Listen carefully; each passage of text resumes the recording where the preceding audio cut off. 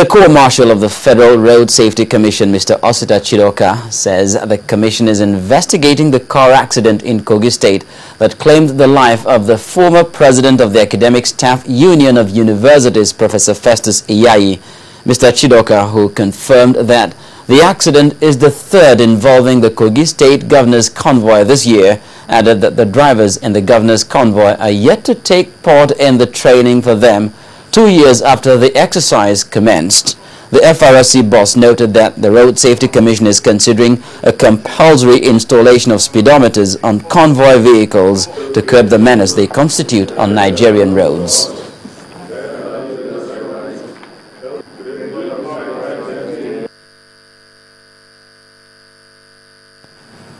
When we saw that the convoy drivers were becoming a problem for the country, we started a process of training convoy drivers.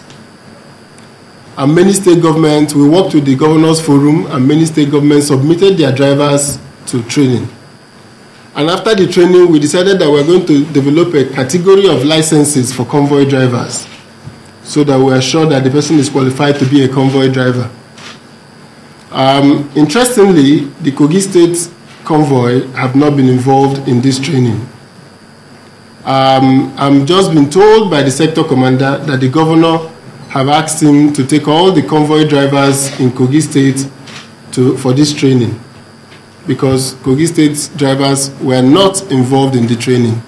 Of the 700 convoy drivers we trained in the last two years, um, from that day till date, none of them have been involved in any road crash.